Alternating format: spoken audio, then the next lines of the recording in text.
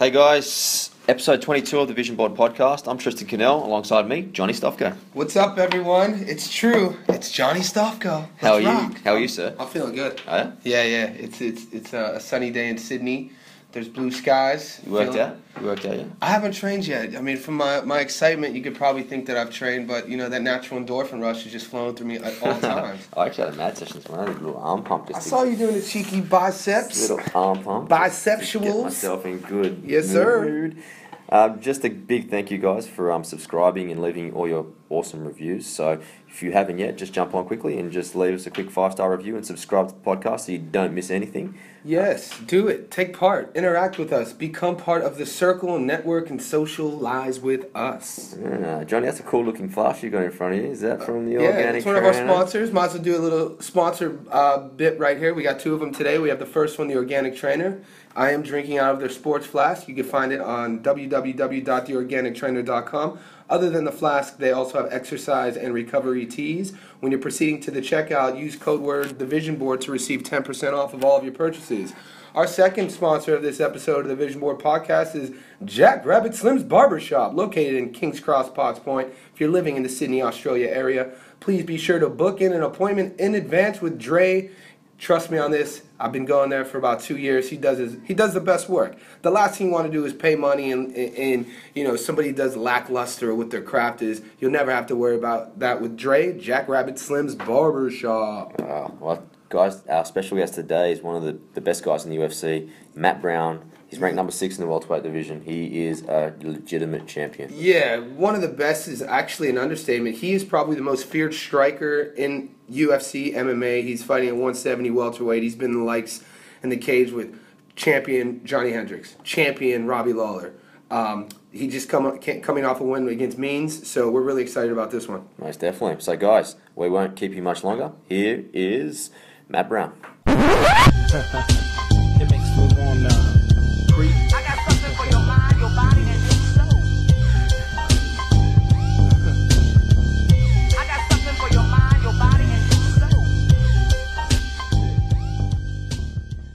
The Vision Board Podcast, hosted by Johnny Stofko and Tristan Knell.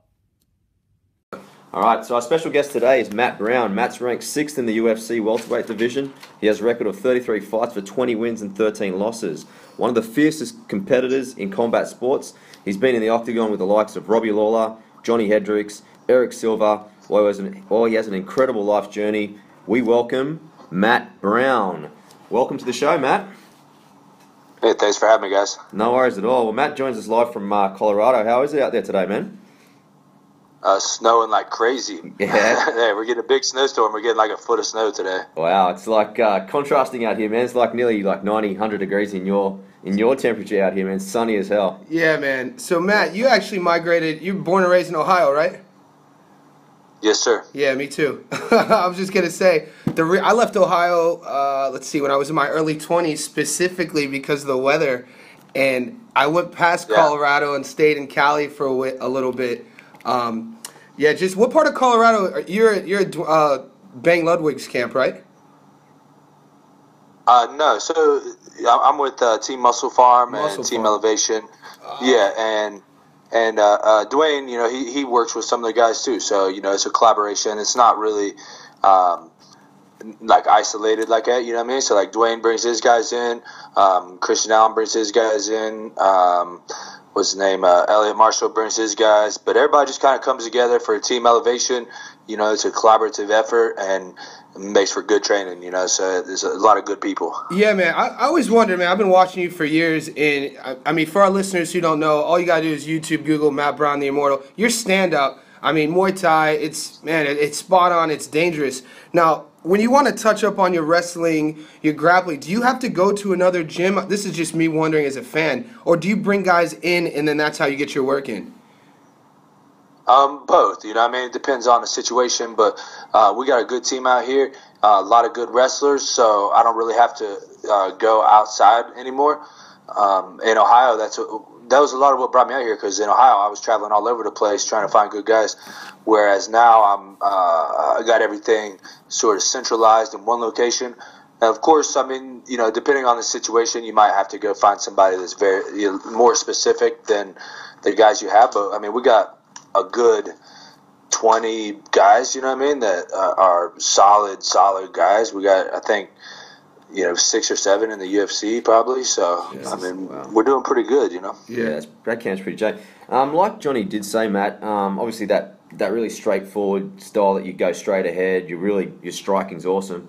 Who was a major influence? Like, is there someone that you've kind of taken kind of influence from when you were growing growing up in terms of like any champions out there that you kind of admire? Man, I, I've taken influence from so many different sources. Like it's hard to even begin because um, that's kind of a, a constantly evolving thing. You know, like I- there was never. Um, I'd say that the person that originally got me into my style was uh, like Roberto Duran, um, um, uh, Chavez Senior. Uh, was was huge. A lot of the Mexican boxers. Um, I know Duran's not Mexican, but um, a lot of the, the Mexican boxing style, I really liked that a lot. So, um, and then I kind of blended that with uh, Muay Thai. So, um, you know, Ramon Dekkers. Uh, it's pretty much all Muay Thai guys go forward. You know, they don't they don't really back up a lot or move around. So, I kind of blended the two together. Um, I'd say like my biggest guy, the guy that I watch probably the most right now is Gennady Golovkin. Awesome. Um, yeah, you know, I mean, I'm, I'm keeping my every time he fights, like I watch the fight ten times and study everything he does.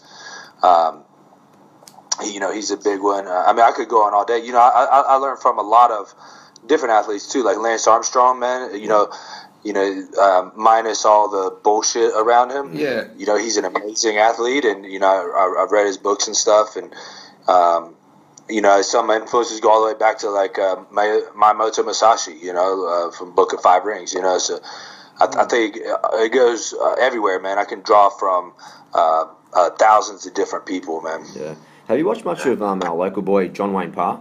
Because both of you, Of course, yeah. yeah, you two just like you're Yeah. two of my favorite guys because you're straightforward, action packed, ready to go, and we have John yeah. on the show regularly. So it's just something I wanted to see if you've uh, had much of it, much to do with. Yeah, it. dude, I fucking love John Wayne Parr, man. You know, he's got a really unique style too. It's not your your traditional. I mean, there's a lot of traditional Muay Thai in it, but he's got a lot of, uh, you know, I, I call it funk.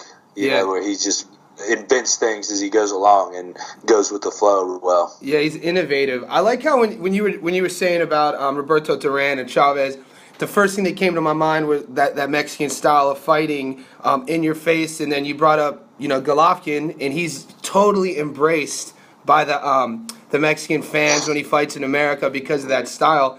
How important? I, this is also what I want. I've seen you fight five rounders, you know, on the slate for three rounders in your head, your your mental your mental strength is is in my opinion the most like evident from a fan to see how how that plays when you're fighting somebody. Are you preparing for like a three rounder, a five rounder, or are you preparing to finish every single fight?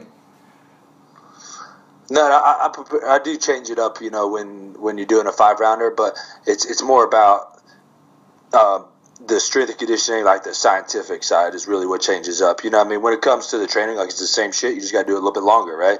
Um, and when you got to do it a little bit longer, uh, that changes some things up. You got to change your recovery periods. You got uh, your time off, things like that. So a lot of things change in that sense. But um, even I, I tell you what, even when I do three rounders, you know, I, I'm in shape for a five round. I'm in shape for ten rounds. Like I don't give a fuck, man. I'll, I'll go all day long. Yeah, man, that's that's Yeah. dope. I want seen I want seen video. I think uh, uh, the UFC put together a video a couple years ago, and I think you were still training in Ohio at the time, but you were pulling, you were doing old school Rocky style, pulling stuff through on sleds and, and wheelbarrows. Is that is that uh, like a testament to your do you, how you would train? Like you seem like the type of guy that wants to be in like a garage and and a barn with like old school equipment to get uh um, to get your mind right. Is there kind of like a connection there with how you train and then like the preparation that goes in with it?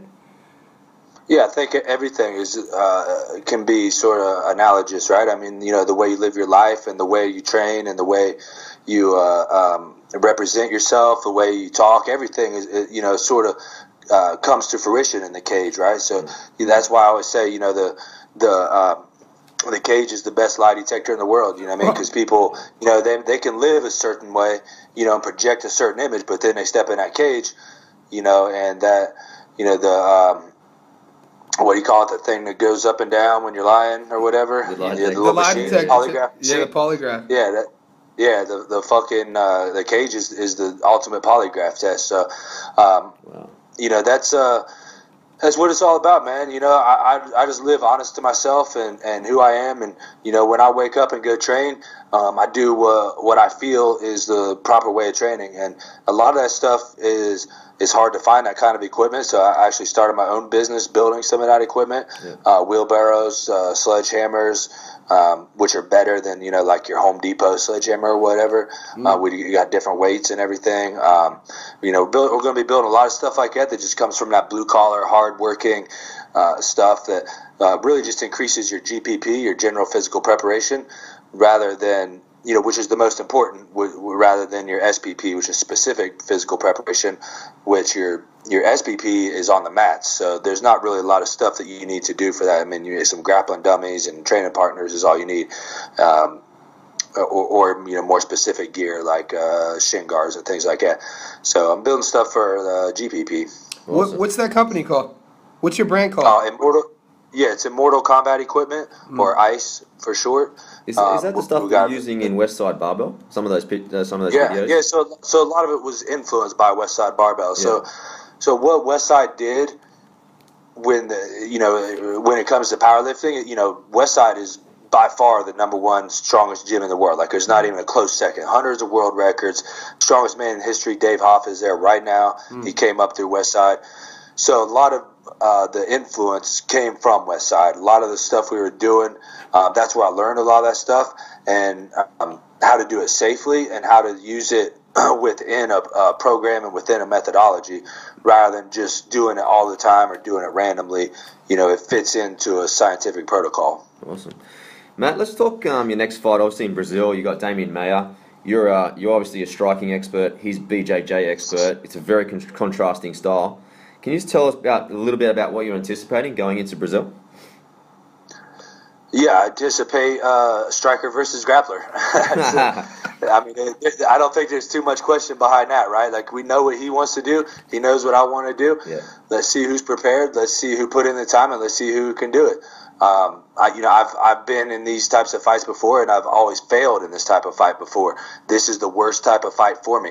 That's why I asked for this fight, uh, and that's why I said I want this fight. I believe I'm ready for that style now, and I believe I can defeat that style now.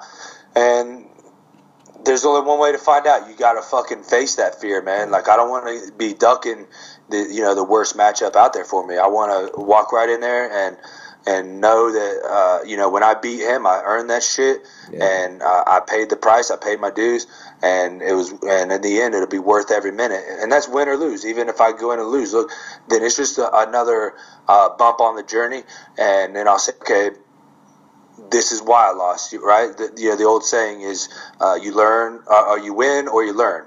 There's no lose. Yeah. So that's how I'm looking at, at, at every fight, and that's uh, how I'm approaching it. And um, I, I don't get me wrong, I fully anticipate winning this fight. I believe I have every tool in the box to do that. Uh, but that's how I look at things now. I don't I don't think about uh, winning and losing so much. Awesome. And with five versus six, you would have to expect that the winner would pretty much be right in line for a title shot at your old at your old mate Robbie Lawler. So Well, he's fought both. Yeah, I, I, I hope so. I hope so, man. You know, it's it's going to be a tough one. You know, our division is really Killers. stacked up. yeah, Yeah, man. Yeah. You know, it's, it's a Shark Tank right now. You know, and all these guys. So it's, it's kind of a tough call. You know, we got. Um, I'm anticipating a Condit Lawler rematch. Mm. That's what I, I'm expecting. Um, and to be honest, what I'm expecting is Condit to win and then to have a trilogy fight. So I think the belt might be tied up for a while. You know, and that's. Uh, that's a very likely possibility, right? That's not you know out of the question at all. Um, so with that said, you know we also have Woodley, who was promised a title shot, who doesn't deserve it, but is you know sitting and, and waiting, uh, waiting it out. So he might be waiting for a long time. Um, of course, me and Demian, you know, who, whoever wins this fight, uh, myself, you should you know should get this uh, should be up there in line also. And then you also you got Hendricks and Thompson fighting this weekend too, right? Yep. You know, Hendricks wins. I mean, he's always. You know, he, I mean, he had the, the title not too long ago, and a lot of people don't believe he ever even lost it. So, Yeah. um, he's going to beat Thompson pretty easily, I think. So you know that should be uh, it's going to put him right back up there. Um, of course, Rory's always up here. I mean, it, like I said, we got a, a Shark Tank, man. Yeah, 170 is brutal. I wanted to ask you a little bit about, um, you, you know, you, you said that, that the type of, you know, draw Maya is, it's the worst thing. You know, it's, it's a matchup nightmare for a striker like yourself. Are you doing anything differently? Like, does a guy like you, I mean, it's worked. You're at the highest level, man, of combat sport. You're at the highest level. And when you get to that highest level of any sport, everyone is as good. It's just like the, a little bit, you know, maybe some inches, a game of inches. Do you ever reconfigure the way you do things, go about fighting grapplers, or are you just going going about it like you always have? Are you mixing it up at all? No, I, I mix things up every camp. Really, I mix things up. I try to mix things up every fight. The problem is, is when I get hit, um, I quit mixing things up, and I just want to fight. You know, I just want to punch you back so bad, and that's just a mental issue. So I'm doing a lot of mental uh, training to try to be a little bit more disciplined in there. I think I need to be more disciplined with Demian, and uh, you know, he's not gonna oblige to having a war with me.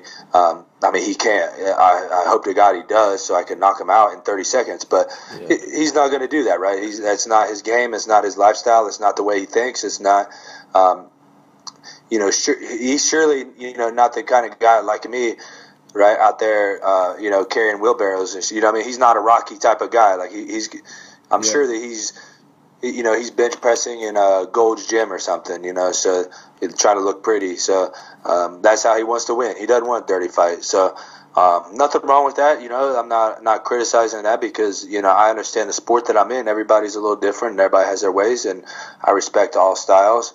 Um, the only thing people I don't respect is people like a Woodley who you know just want to fight for yeah, just duck and dodge and you know try to pick each fight just to try to get a title. This is just simply not a martial artist, not a samurai, not a warrior. So um, that's what I don't respect. Do you know the Do you know the phrase, the uh, samurai phrase, um, Dantotsu? Have you heard of this? Don, I've probably heard of it, Yeah. but I don't. I- I yeah, don't Don know. Tatsu. I, used- I used to work uh, with a leadership company out of Vegas, and they, they use the samurai warrior, and they talk about the, the most savage warrior of, of all humans were the were the samurai, and they never wore back armor because they never retreated, and it's it's always talking about it's always talking about progressing, and when you say that, that's the first thing I think of of like why would you a true warrior, a true and you know mixed martial artist wouldn't pick, they would just you know throw down. I like that. That's um, beautiful. How you sp- Yeah, it's D How you spell that? It's D A N T O T S U. Always progressing. I'm check it Yeah, out. check it out, man. I think I think you'll it, it'll suit you. I like it. Yeah, man. Awesome. Matt, like on our program, we also like talking not just about fights, just about life in general as well. Just over the last year or so, Yeah. I've um, heard you speak a lot about obviously changing your own life, following a new path, and just little phrases like that. Can you just explain a little bit to the audience what, what you kind of mean by that? So, I, I think it's easy to get caught up in, um, what would you say? Just it's easy to forget the the the warrior path, right? It's easy to forget. You know, this UFC shit's blowing up, man, and everywhere I go now, people recognize me. Everywhere, uh, people want to. Um, you know, they want to get on their knees for me. They want to kiss my feet. You know, they want to. Uh, people love me. They worship me, and it's easy to let that get to your head, right? It's easy to um, let that uh, affect your life. So, in Ohio, where I was at, you know, I was surrounded by people that I've known for a long time. Um, and there's a lot of people coming out of the woodwork I never, you know, cared about before, and they never cared about me until, um, you know, my status in the UFC. Um, even I'll tell you, even men from you know when I was in the UFC earlier, like on a losing streak, you know, and people you know treat you differently, talk to you differently. Um, you, you see those things, and it's easy to let that get to your head. Um, it's the first time uh, in my life I ever had money, so you know it's easy. Money is, is a fucking evil thing, man, and it's a it can that, that that can just grab on that can just leech on to your to your mind and, and take it out of you. Um, you know I have kids that take a lot of energy out of me. So what I'm getting at is a lot of things to clutter up the mind right? So what I what I did was to come out here to Denver it just happened to work out perfect that you know I got sponsored by MusclePharm I had a great team out here that wanted me out here anyway uh, I've always wanted to live out here on top of that so all these things came together and I like to say I dropped off a mental trailer in Ohio, and just left all that baggage there. Came out here with a clean slate, uh, nothing on my mind. Um, I changed a lot of things. Um, in, in, the in sense of like a perfect example, just tiny, tiny little things. Like every morning now when I wake up, first thing I do is make the bed and take a shower, brush my teeth, rather than check my phone. Like I don't even look at my phone. I don't look at the time. I don't look at the date. I don't look at the weather for the day. I don't see who, you know, what asshole is texting me at six in the morning. I don't, you know what I mean? So Yeah. like, and that's such a small thing because th- what I do is the thought process behind that is the first thing that you do in the day is uh, um, is is an accomplishment, right? Rather than the first thing you do is is is is collecting input. So something being put into your brain. First thing you're doing is giving something out and accomplishing something and feeling good about something. And something uh, literally as small as like making your bed first thing in the morning, like changed my life. You know what I mean? I just felt better every day. Um, so that's just a, an example. I I could give you a hundred things like that that I do, but that, that's like a perfect example um, of, of how I've turned my life a little bit, and that helps you maintain your focus. Like I said, it's all analogous to uh, what happens in the cage. Yeah, that's that's. Uh, I, I love that that mindset. I, I talk about that a lot. Like Buddhists will call that that first initial true human experience of awareness is uh, the the start of our um, awakening, and the rest of your life from that move, moment forward is your path of enlightenment. So you mentioned earlier about you're doing things mentally, working on your mental discipline. Are you doing anything specific when you say that? Are you are you meditating? Are you maybe doing isolation tanks? Anything specific? Or are you just spending, um, you know, maybe writing? Do you have any anything to to to to piggyback off that? Yeah, so um, I, I've done meditation for years and years. Um, so that's something you know I'm trying to develop and enhance more and more all the time. It's difficult to stay consistent with that.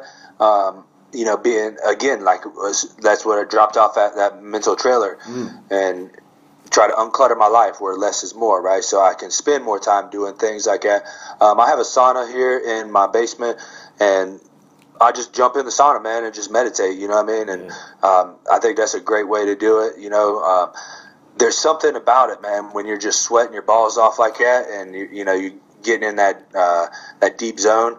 There's something about that, man. I don't know what it is, but I think there's something more to it. You Have, know? have you heard? So there's a. Are you familiar with uh, Dr. Rhonda Patrick? Yeah, with uh, the Joe Rogan. Yeah, girl. did you? Is that? I always because what we use a dry sauna a lot too, and I always thought the same. I was like, I don't know why this is good for me. And then after I heard her, after I heard her speaking about it, and she mentions like Yeah. heat shock proteins and the synthesis. Yeah, it's it's definitely uh, um, uh, an awesome tool to use naturally. Matt, Yeah, long? so, so I use I use the uh, infrared sauna actually, which is, is far better. Yeah, and uh, so I was actually reading this research the other day. Interesting enough, that this might have something to do with it too. Is um, so they did this, these things where people were on these balance boards and they read while they're on the balance board Okay. like just one paragraph while they're on the balance board and they stay on the balance board for like three to five minutes and these the people that stood on a balance board compared to the people that were sitting down reading um, retain the information something like 20 times better like some enormous amount better so for whatever i don't know i feel like somehow that might relate to the sauna That focus. um, I don't know how to. I, I don't know how the fuck to articulate that, right? But somehow, I, I, I don't want to go off on some tangent here that I can't even explain. It's but, all good. Um, it seems to me like you know somehow like with your body sweating, that blood rushing, Yeah. it's probably doing something something with your neural pathways. Yeah. Um, maybe Rhonda Patrick will be able to explain it, Yeah. but I think maybe yeah, it makes sense. I mean, you got the person on the on the balance beam reading, focusing all their intent on the specific thing, and then you're in the infrared sauna, disconnected from everything, focusing everything on nothingness. I think there could be a maybe a, a balance or a connection with that. Yeah. But I'm no doctor. So, so, so I don't know if, there, if there's something about where when they're on that balance board, they're not focusing all their attention on the paragraph, right? Because they have to balance, right? So it's almost yeah. So it Oh, I almost see. It's like two different uh, types of folks. I don't know, man. I, I'm not. I don't know all the research. Uh, I, I need to read about it a little bit more, but I found it really interesting, and I felt like you know those deep thoughts that I do in the sauna that kind of stick with me a little better when I'm in the sauna. Maybe somehow relevant to that research I was just reading. yeah. So I don't know. It might be a completely pointless conversation I'm saying here, but I'll look into it. I'll send you an email, man. I'm interested in stuff like that. Matt, Matt, do you yeah, put a yeah. I'll, look, I'll look up the name of the board because it wasn't your normal balance board. Okay. It was Yeah. it kind of had a, a name to it. okay, yeah, I'll check it out. Fine. Matt, how long do you actually spend in there? Is it something you just until you feel a little bit dehydrated, or do you have a spe- specific time kind of in there, man? Um, no, it depends. So, my old sauna was a lot stronger and more powerful. Um, so I would only spend about forty-five to an hour. Um, I have a new sauna now, which is a portable sauna. Um, I got it from TheraSage, and it's more of like I don't know. I think it's like for older people or something, but it's that- way Is that the one I was throwing you on Instagram? You had kind of like a big jacket Yeah. thing on.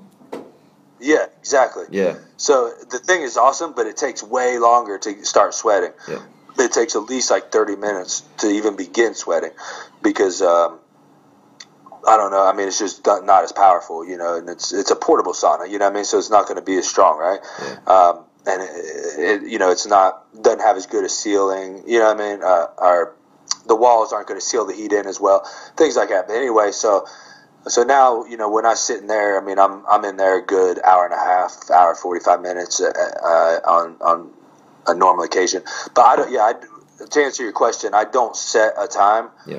I mean, I go basically until I can't take it no more. Awesome, Matt. Just So what? I, one of the things I try, one of the things. Sorry to interrupt, but Yeah. that I try to do is is increase my tolerance uh, to the the heat. Okay. Right, which Rhonda Patrick was talking about that. You know how it, it helps with that, and uh, um, when I have to cut weight, you know, it, it's not like a sudden new thing to my body. Right, the Yeah. day before a fight, it's not all of a sudden I'm doing something. Uh, you know, my body's never seen before. Um, you know, and my and with my tolerance being higher, I can sit in there longer without uh, being exhausted as quickly. Okay, Matt, are you still like comfortably making um, the weight limit at the moment? Have you changed kind of your, your approach to a nutrition, like the older as you kind of get? Um, I actually did change my nutrition recently. You cut out a little bit, but I think you- you're just asking about my nutrition, right? Yeah. And uh, yeah, yeah. So um, the the thing that I'm doing now. So I used to do the the common everyday program of eating every two to three hours. Um, what two two to three big meals with little snacks in between. You know, I, I did all that. You know, the basic uh, thing that everybody follows. Now I've actually completely changed it up, and I feel better than ever. So um, I do intermittent fasting, Okay. and I do. So I go from ten o'clock at night till noon the next day, and don't eat a single thing. Yep. I'll only have uh, a cup of coffee in the morning. Um, just to wake me up and get me going, and then I train on an empty stomach uh, first thing in the morning, um, and then throughout the day I eat two big meals, and then protein, and that's it. Okay. During that fasting time, that first um, training program, is that is that just a normal run, or is that inside the gym, grappling, sparring, anything like that? Yeah, we change it up all the time, but it's um, it's an intense workout first thing in the morning, and I'll tell you what, I actually it's unreal, man. Like I feel I have more energy now in my first training session than when I used to eat beforehand. Okay, that's interesting. We might have to um, try that out for ourselves. Yeah, man. I, I I've heard your you on a, a couple different podcasts. I heard you give an interview one time about I think it was the upcoming Holm and Rousey fight, and you were just talking about um, seeing holes in Rousey's game. You didn't predict the win, but you were able to sit back and be very visceral about each one's approach and see the holes in the game, and you almost made a plan of attack. You know, using Holm's um, strengths. So when you're you're preparing for an opponent, you got your team around you. Are you leading that charge, or are you relying on other guys to do that work for you? Okay, well, first off, I actually did call it. Yeah, did you did you then I- commit to it? I wasn't Yeah. sure. Okay, okay, I didn't want. No, I I retracted my statement. So, so one week I had it, and then I was like, man, I, I got sucked into all the media hype, man, and everybody was like, you're fucking crazy. I can't believe that you would pick her. Like, you're crazy. I mean, I was just getting lambasted, you know what I mean? And I was like, shit, man, am I that stupid? you know, like I've made some stupid picks before, you know? So, uh, yeah, so I ended up, you know, retracting it, and I said, "Look, Holly has a really good chance. She'll probably give her the best fight, but Ronda's going to win." And you know, I ate my words, man. I should have stuck with my guns, and I shouldn't have been a bitch about it. But anyway, Yeah, um, I do lead the charge, man, 100%, you know, because, and I believe every fighter should do that because you have to believe in it, man. And um, I'm the CEO of this business. You know, that's something I've learned over over time, um, especially, you know, starting my own businesses on the side and doing things like that. I've learned that, you know, nobody else cares about your business as much as you do. You like you're not going to find an employee that cares as, as much as you do. So don't expect them to. You know, before I would you know, I, I would just trust my coaches. But then I would realize, like, you know, okay, they're maybe watching the guys fight, you know, two or three times, maybe even 10 or 15 times. I'm watching that motherfucker every night. I'm dreaming about this son of a bitch. I'm waking up, you know, breathing this guy, you know what I mean? And it's like, why, why would I trust? I mean, I, obviously, I'll listen to him. I look at him more as advisors, right? So mm. it's like, how you know, but why would I put all my trust in someone that doesn't have to go in there and do it, and someone, you know? So I, I have to believe in it yourself first. Yeah, that's a perfect segue for my next question. Tristan and I like using this platform to um, give our listeners advice, inspiration, motivation. Could you, th- our, our fans listening out there, um, could you give us some inspiration, motivation to somebody who may be struggling with something in their life and some advice on how to get through it? Man, uh, that's a really tough one because you have to be so broad and general with advice like that, right? You know, and that's, I mean, I'm sure it sounds like you know you guys talk about some uh, Buddhist stuff and Zen and stuff like that, and I mean that, that's the easiest advice there is, man. You know, these people, um, you know, a lot of people look to Christianity or Catholicism, or whatever, and in all reality, I mean, you know, I, don't want to offend anybody's religion, but that, that stuff ain't nowhere near what Buddhism is. You know, I mean, that stuff really help you help you, uh, um, you know, mentally for anything, and and there's I think there's nothing else that can help a person than just being in the now, and mm-hmm. that's what, of course, what what Buddhism talks about. You know, living in the present, and because everything, all the anger, the rage, the fear, the anxiety, all that stuff is a result of past or future. It's never, rarely is it a result of what's happening now. So, I guess even probably never, right? Like, I mean, unless, you know, even you know if you're free falling, you know, from uh, an airplane, like right now you're still alive. So, you know, what do you have to be afraid of, right?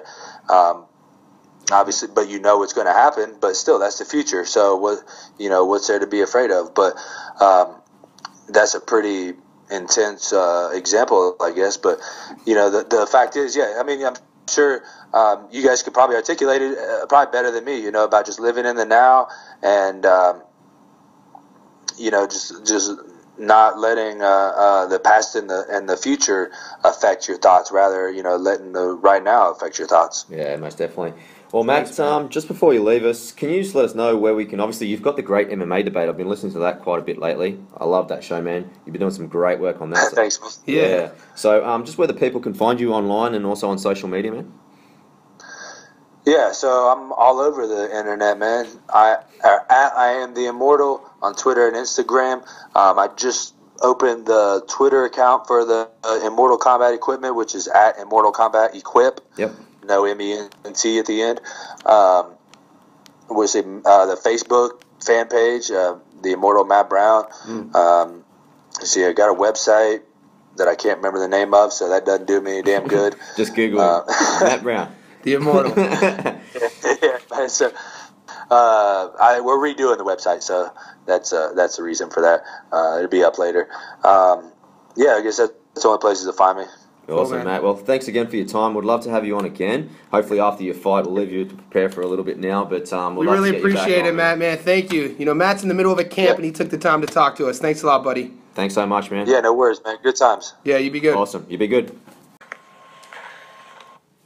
Awesome Man. stuff, man. Yeah. Matt, Man, Matt Brown. the immortal. Um, probably the biggest thing I took out of that is the humbleness of a man that's ranked number five in the world. He's taken on all comers. Yeah. Like His life's gone different directions. Yeah, I like I like the fact that I mean, how it's interesting. It was like this this measuring of like intense, but also precise. But he's just himself. Yeah, He's not that- trying to be. Sometimes Unfiltered. when you get to the top of the rankings, you can tell that sometimes a fighter or even an athlete, even a rider, anything, they lose their way. They lose who they are. Do Yeah. You get what I mean? Like Yeah. sometimes eh, the marketing side comes out of them instead of who their actual persona is, but Matt's still the same dude that he is. He's just grown as a person, and Yeah, it was good to hear him. I don't think I've ever seen Matt Brown laugh. Like just at the very end of that conversation, you had, you know, you you threw his, uh, you know, his podcast is is awesome. Um, the MMA debate. He he tackles some, um, you know, controversial issues that we really didn't want to touch base with today. But he talks a lot about the drug testing and his opinion on it. Matt's a very very open mind, not open minded, openly talks about his stance on steroids and how he feels you know the ban should be i think what is it first time two years he's talking about it should be four to lifetime mm. which i agree with him you know he, he had that debate But about it's good that he's actually because realistically he employs the UFC, so a lot of other people, you know, skate on eggshells, so to say, don't want to give their opinion. But Yeah. that's, Matt's very open. You know? Yeah, and you know what? The UFC, as of late, man, it's kind of I don't you know I don't work for the UFC, neither do you. We just pretty much the info we get is from our sources, our friends who fight in the UFC, and some of our friends who write. And it's almost like they, if you get on their bad side, they kind of bully you, bulldog out, and that's what I'm kind of you know with Stitch, for instance. Stitch, no one truly knows what really happened with Jacob Duran, but you know media, Stitch came out and said, "Hey man, I make my money on my sponsors." You know, and then when the whole Reebok deal came out, he spoke against it, and guess what? A week later, he, he's not employed anymore. Look at Brendan Schaub, same type of thing. He's very he's been very vocal about the contract issues and about the sponsorship issues. And I just read and um, saw an interview last week that Schaub now he used to do that little spot analyst for Fox Sports. Yeah, he's been cut He's well. been cut cut out of that, and he's just doing his podcast, which you know it's just interesting. At least know? he's not a sellout. You know what I mean? Like at the Yeah. end of the day, the reason why they were um, obviously upset is because in the UFC, while the top dogs make some good money, the lower tier guys they make their money from sponsorship. Because realistically, what you were saying the other day, they make two or three. Two thousand. So you get a guy like we'll use Luke for instance, um, Stevens, and you know he's first fight in the UFC, doesn't have a contract yet. You're getting paid two thousand to fight, two thousand to win, and fortunate enough for Luke, he got a you know you get a performance of the night bonus, which is fifty G's, which helps. That puts you on your path. But a lot of these guys aren't getting it. They only give I think four awards out uh, over twelve fights on a card. So you're right that it. Back to Matt. Let's keep it focused on him. It's very refreshing to see a guy who sticks true to his guns per se. I like what he said about um, his opinion on you know Maia. He was diplomatic about it, about how he's training. But then when he got to Woodley, because uh, you know he called he pretty much called Woodley a punk. What did he say? Yeah, yeah. he- pretty much. no respect yeah, he's for been sidestepping a lot of opponents. Woodley hasn't fought in a year. He hasn't fought in a year, Matt, you know, and not not due to so much injury, just because he's been waiting. And I just got a tweet about um, the UFC is about to announce Lawler versus Woodley. That's not official yet, but that's kind of what Brown predicted. How do you think he would go against Lawler? I think Lawler would hurt him. I think that fight ends in the first round. Yeah, I think Woodley. Woodley's, you know, his background's wrestling. He was a high level collegiate wrestler. Body type as a striker, and his striking's coming along. Um, he's fighting out of America Top Team down in Coconut Creek. That's what I saw, and it's be interesting because Lawler trains down there. I'd have to double check my references. these things, you know, guys switch gyms all the time.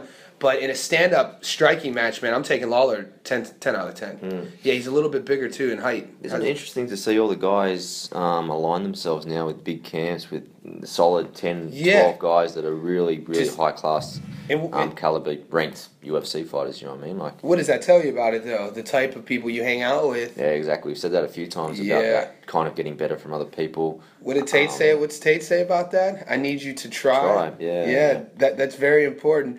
Um, But it is kind of getting. There's a bit of a few rivalries out there now. There's like five or six really big camps there that are really dominating in the UFC. yeah, it's interesting. I mean, We, we talk to fighters a lot, and so, you know, depending on if their website's up to date or if they're tweeting a lot, you know, sometimes you'll catch a guy in a camp and he just changed. Uh, it happened. I, I was. I swear, Matt was fighting out of, um, you know, with. Uh, Bang Ludwig, Yeah. Duane Ludwig's I think he was like Yeah. last year, and I think he moved very late last yeah, year. and he says those guys, those guys still come up, and so they come to him now. Yeah, Yeah, Well, I think he's probably in that position where he can kind of call the shots, isn't he? So That was interesting how he said he's the CEO because I know some guys they hire you know they, they hire teams around them. Yeah. I don't want to put guys on blast, but I know there's uh, a recent champion in the heavyweight division where he would just hire guys around him to basically have the game plan written for him rather than saying, all right, look, these are my strengths and weaknesses. You know, there's two sides to that story um, in regards to. can't, gets to feel his opponent a lot better, seeing that he does his own research instead of relying on like tapes from other people and just different opinions. Because you're going to see something different from what I'm seeing. but Yeah. it's always good to see from your own perspective. What's your? Uh, are are you familiar with what Matt brought up about GPP and SPP? He was talking about your general physical preparation versus specific physical preparation. in what regard? He, he was talking about that in training when he was talking about um, you know GPP, SPP type of body training. If, if he's going to be if he's grappling, if he's grappling versus somebody, Mm-hmm. he was. I I've, I'm a, I wrote notes, so I'm going to research. I have no. I've never Yeah, heard of that. I was wondering to if that was a jiu-jitsu. Maybe ask Graham. I heard, I've heard, Graham talk about that sort of stuff with his preparation for his rugby league players. Okay, so maybe we'll very reach sport specific to- type of stuff. I think it is very. I think it's like sort of time based sort of stuff. Yeah. Um, to make it like kind of, mimic what's going to happen. How about But of course, I could be totally wrong. We'll ask Graham, and we'll get back to you guys on that. How about the cage being the best lie detector? That's true. Oh my! I've never heard anyone put it that Because way. you can't. Well, you can't run. You can't hide. no, You you- can't, I've, yeah, I've never heard anyone can't put get it that any way. help. You're by yourself. Yeah, Matt was just man. He was very. It's interesting if you watch him fight. He says he he has a game plan, but then when he gets hit, he fights out of emotion. And he said he's going to work on that. But he's he is what you call a tactical striker. Yeah. He is the best Muay Thai, in my opinion, in MMA. And um, in the way he speaks, and you can tell in the way he carries himself, and the way he lives his life, it's it resonates in his actions, how he speaks, what he talks about, his passion. It's pretty interesting how there's a carryover effect. That's going to be a very interesting clash. Like, obviously, he couldn't really give too much away with the Ma- Maia clash. Obviously, he's been, I would suggest he's probably been training a lot more with BJJ guys because that's, as he pointed out, that's his weakness. Yeah, yeah. Demian Maia, if you guys don't know, if you're listening, is the highest level of jiu- uh, Brazilian jiu-jitsu on the planet. Um, and in my experience watching these these fights at the highest level between a jiu-jitsu guy and a striker, it usually ends up with the jiu-jitsu guy winning. Yeah, it, I mean, this is this is saying if a guy is specifically, you know, predominantly a striker. Matt's lost to. Yeah, the, all, he's he he's never been kind of- knocked out. he- He's he been kind submitted. like he is priming himself to make a big statement. It's huge. He's He's been waiting. He's not 25 anymore. Matt's in his mid 30s.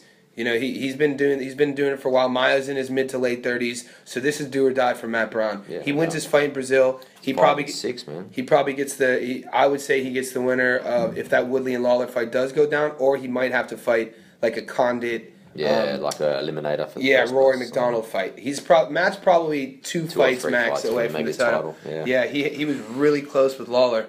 That went to a decision. Mm. That, was a five round eliminator, Yeah, wasn't that, it? that was a war. Matt Brown loves being in bloodbaths. That's what he talks about. He embraces it. That's why it was really exciting having him on. Really stoked about it. Yeah, I was really interested actually when he was talking about, you know, when we talk about all the guys that he's fought, Yeah. top level guys, Yeah. they're always the top 10 guys, so he's not sidestepping anyone. That's the thing And I too. think that's man. something that you can kind of translate into life when ti times get tough instead of trying to search for the easy option out. Yeah, he was talking about fear, and he was saying that about how if there's something that scares him, if there's something that he's he, he fears he's not going to run away from, he's going to face it head on, and that's something you and I talk about that can have a carryover effect with everyone in our lives. Yeah. If there's something that and fear could be replaced with weakness, you could substitute that fear word. That fear word really doesn't have you know a specific meaning. It can mean something that you're avoiding. But it is scary. Like I can just just from my own personal perspective say that you know sometimes the road is tough, and sometimes you know sometimes you do want that easy way out. But the best path is, from my personal experience, is to actually you know embrace it and try to figure out ways to actually get yourself better and get yourself back on track. Because at the end of the day, it's far more fulfilling Yeah. than just getting handed it to you. Do you know what I mean? Yeah, everything I'm I'm working on myself is realizing that we create fear though. Mm-hmm. Individually, we create fear. It's usually something that somebody told us was a fear. It wasn't born. We weren't born afraid of things.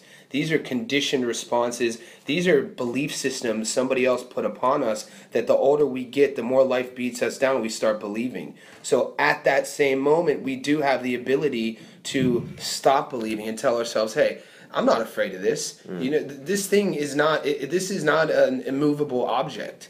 Do you know what I mean? Whatever that may be, and then it's important to devise a plan to to make steps of progress, and then put yourself in the best position to um, move forward. It's also great to see, um, you know, obviously Matt's had a lot of adversity early in his life.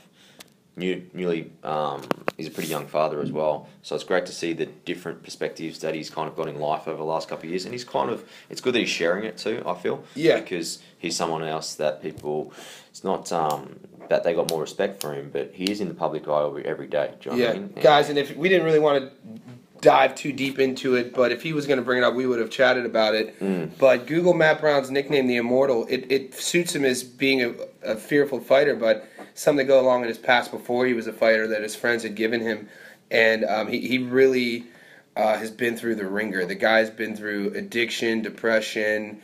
Um, and, and now overcoming all of that, you kind of get to see that warrior mentality. They talk about if you, it takes a man or woman to go to the lowest depths of hu- of human possibilities to understand what it takes to get out of it. Get and, back up. and if you do get out of it, you become a warrior. You don't have to be a fighter to be a warrior. Mm-hmm. That met, Matt's mental strength you could see, you Absolutely. could hear. There's different ways you can be warrior. Yeah, we were able to see it because we, we we were skyping and you know we released these strictly audio, but just watching his mannerisms, how he speaks, his intent, you could tell, man, this this is a confident, Yeah, humble, not make believe. diplomat. This is yeah, guy that you know This is he's just willing to share his his own passion about life and his own perspective, which is cool. yep. Um, Johnny, actually, what I was going to touch base on you this morning, it was actually a very interesting fight I want to chat to you just quickly about. Yeah, Canelo Yeah. just announced a fight with Amir Khan.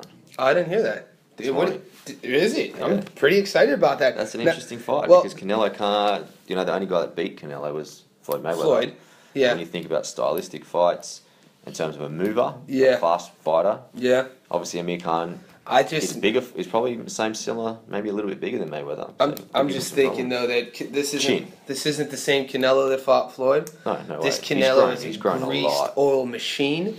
He's he has that mental strength from that loss, Mm. and he's he's a confident fighter. And Amir Khan, um, you know his his resume speaks for himself. He's flashy. He's quick. He's smart. He gets in your head. Prescott absolutely floored him though. Yeah.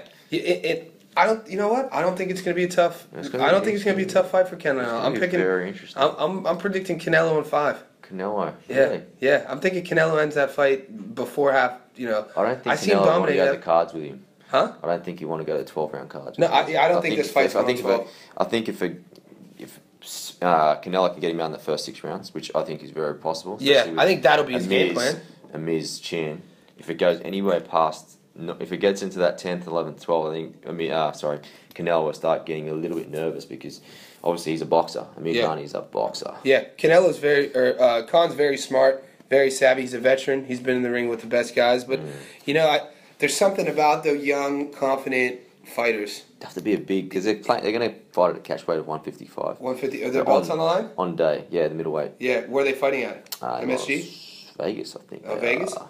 Okay, I'm It's interesting because you think that one by the time they come ring night, Canelo's probably 170, 175. Yeah. You probably think Amir You Khan think he maybe walks around at 170? Does he walk 160. around Yeah, apparently runs he works around 190. Jesus. Yeah. That, He's that's about he's a little bit shorter than you, but he's Yeah. about sorry your your build as well. 'cause Yeah. you're about 80 kilos. yeah. I'm shit. I'm back up to 85. Yeah.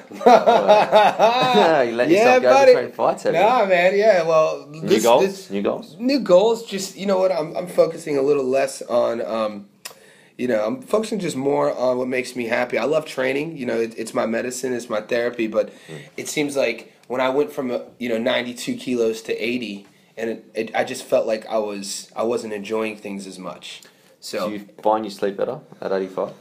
Um, it's something that you know maybe I should be writing sleep. I used to write sleep patterns down when I'd wake up and comment. Um, my sleep as of late has been awesome. Yeah. I think maybe that has to do with I'm eating a more. little bit more carbs as well. I don't count that stuff. Yeah, Would I, you say on a general basis you might be eating a little I had more I had a sandwich yesterday. Yeah. I had bread yesterday for the first time. And you know, I went. I was very disciplined to get to eighty. I, I didn't eat any. Uh, I wasn't eating rice. I wasn't eating bread. But it's not like I eat that stuff every day. Yeah. Um, and I just feel I probably 84, 85 is my natural walk around weight. Not ninety two, not eighty. Eighty I felt a little dried out, but Mm. but um, I'm feeling good now. Let's talk a little bit about. we- There's there's a, a couple fights coming up, man. We got we got our boy John Wayne Parr getting ready for a brawl. Yeah, he's on. Uh, You got 5th your boy March. Billy. Fifth of March, he's going to be fighting. So we're going to have uh, John coming on preview in the next couple of weeks. Yeah. Um, he's also going to be talking a little bit about um, his boy Noodles. If you've uh, you've probably seen him, he's become a bit of an internet sensation. Yeah, Noodles. He's been taking punches from his coach, Mark Hunt. and then Mark Hunt as well. Yeah. Um, and he's obviously faced his own issues in his own life. He just- he's, he's handling himself. So Didn't he it's- just win a fight? Yeah, he just won his first fight, and he's lost Yeah. a lot of weight. So good for him. So big shout out to Noodles. I like the relationship John Wayne has with Noodles. I like how he. I, I don't know the relationship Like a personally. mentor I'll sort of ask. thing. I'll ask John that when we speak to him again. But I he defends him and ah, man, John's energy. Yeah. Like he's just a kind human. You, it's pretty. It's that awesome paradigm of like seeing this kind human and then putting him in the in the cage in the ring. Yeah. He's just fucking That's just two different brutal. beasts, eh? Yeah. Jeez, and then you, we got Billy Dib, man. We've Yeah, been waiting Billy for his comeback fighting for a while. in Bankstown on Friday. Uh, Is it the end of- February? end of it's going to be in Bankstown. His uh, little brother's also going to be on the card. We're going to that fight, right? So yeah, we are. Yeah, So know- we're going to get Billy back on next week. Yeah, I'm excited. Billy's such a good kid, man. Also get to meet his brother, so we're going to do Awesome. a little bit of a profile on his. Uh, Yusuf Dib as well. yeah, so, he's won his last pro. Was it his pro yeah, debut? pro, pro debut. Yeah, won won by knockout in the first round. That was the left hand. Uh, right hand. It was a right hand? Right hand straight. Okay. Just caught him. Yeah, I heard you. Yeah, you wrote something about that. It was pretty good. So yeah, we're excited about that. Um, the the future is looking um, for our listeners and for us as well because what we're doing is we're in this together.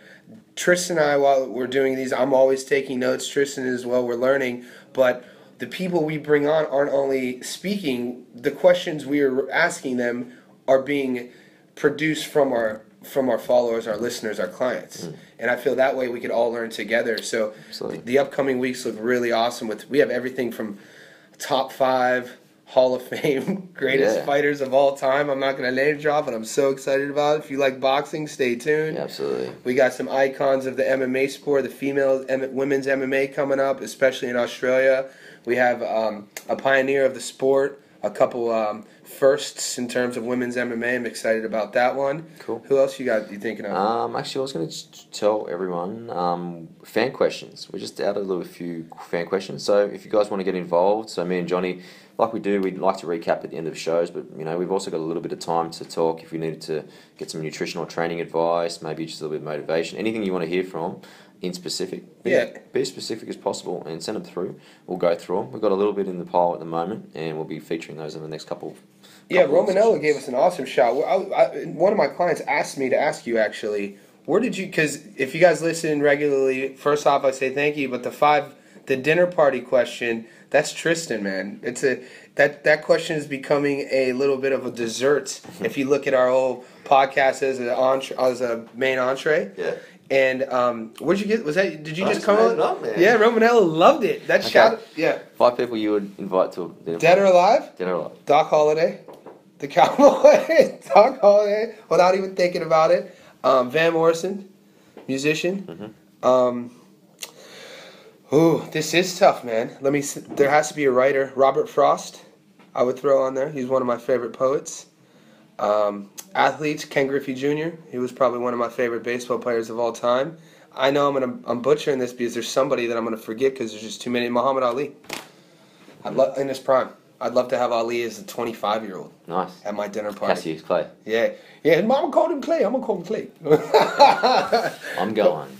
I'm going Mike Tyson. yeah, I won't take Cassius because he's already going to your place. yeah, So I can't. yeah. Well, him. we can have a collective ten group. I'd like Eddie Murphy. Yeah, Eddie. Yeah, Ed, Eddie's an interesting one. You can't go wrong with Eddie Murphy, man. Will Smith.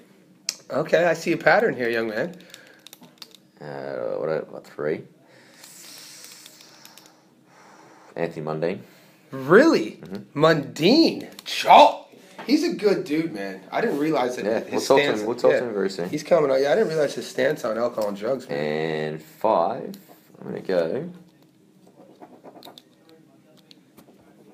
Number five. Notice we didn't pick any women. See, we are at peace with ourselves. See, that shows a confident We'll Hmm. get man. some. We'll get some later. Yeah. Just joking. Yeah, Um, five. I would pick Sylvester Stallone. Sly. Sly is a very, in my opinion, one of the best writers. Mm-hmm. Very underrated writer. But yeah, so uh, the question has become popular. Thank you for asking me. I've always, I guess I never thought about it. And then, um, yeah, guys, if you're listening, send us some emails.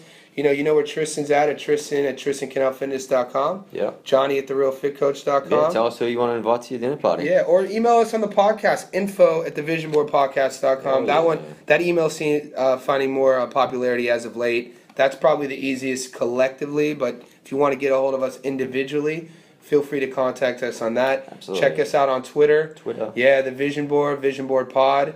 My Twitter account is Jonny Stofko. is Tristan Knell. Tristan account fitness. You're on Instagram. Absolutely. But um, yeah, so guys, again, we really appreciate your support. So um, big shout out to all our family, friends, and just followers we haven't even met. um, for subscribing and just leaving us those five star reviews. So I really appreciate that. If you haven't done it yet, it's just a quick little button. You're probably listening right now, so you can just quickly switch over. Just search the Vision Board podcast if you're on iTunes or on your podcast app. It will come up, and all you got to do is just go into reviews, and then it says write a review. Just click that little button, and if you could do that, will be much appreciated. Yeah, that's that's something that we we take a lot of. Um, we put a we love the kindness we're being shown, the support we're being shown. People are coming up to us at our gym. You know, our gym, our health club's like a little community. So it starts from within the club. So it just gives us more motivation to keep pushing forward.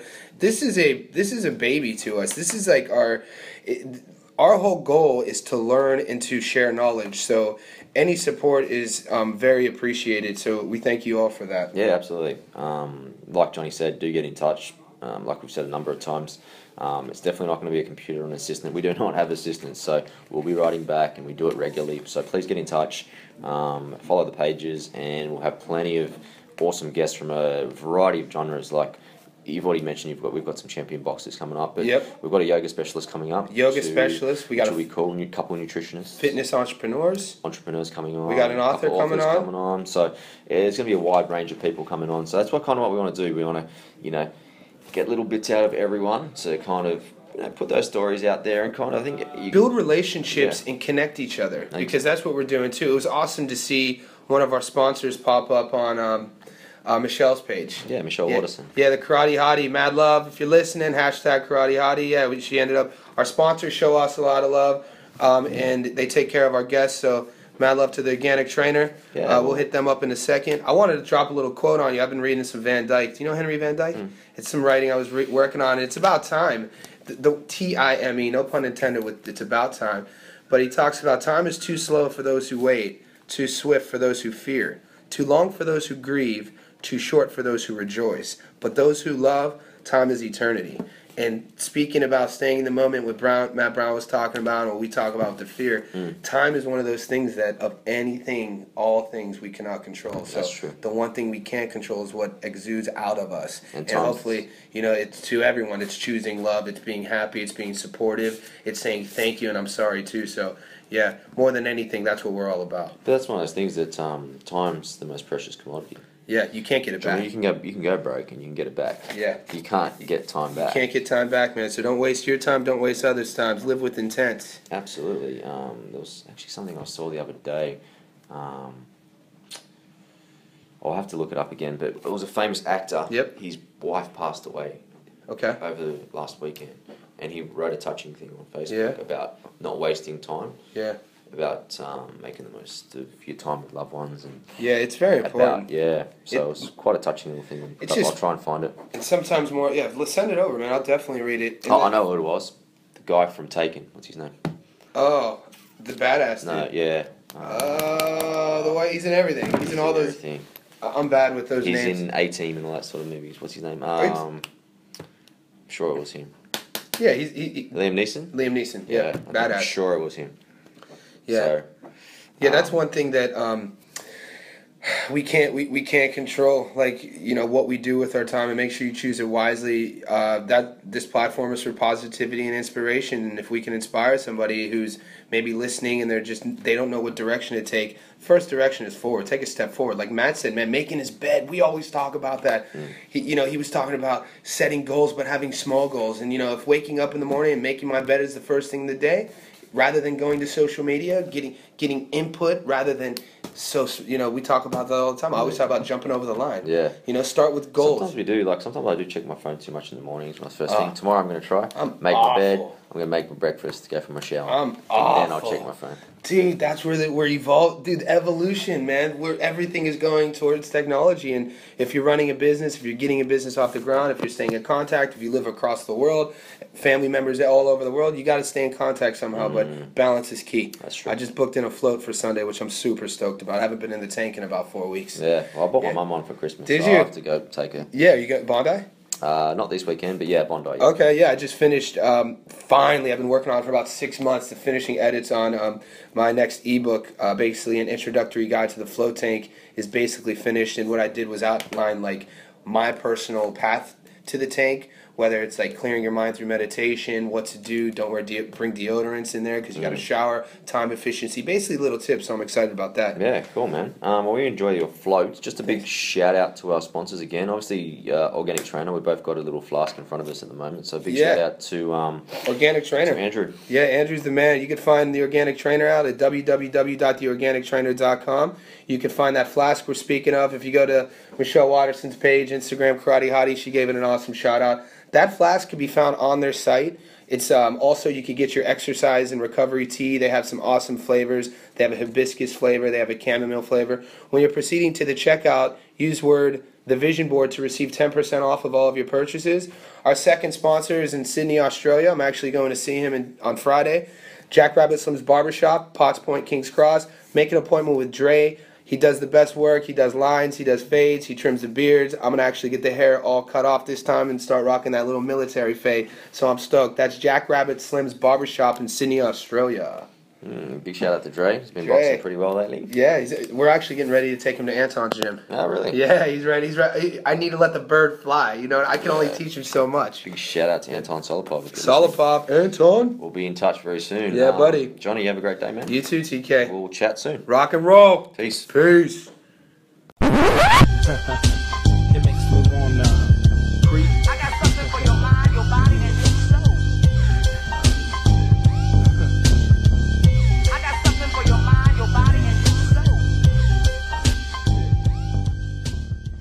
The Vision Board Podcast, hosted by Jonny Stofko and Tristan Knell.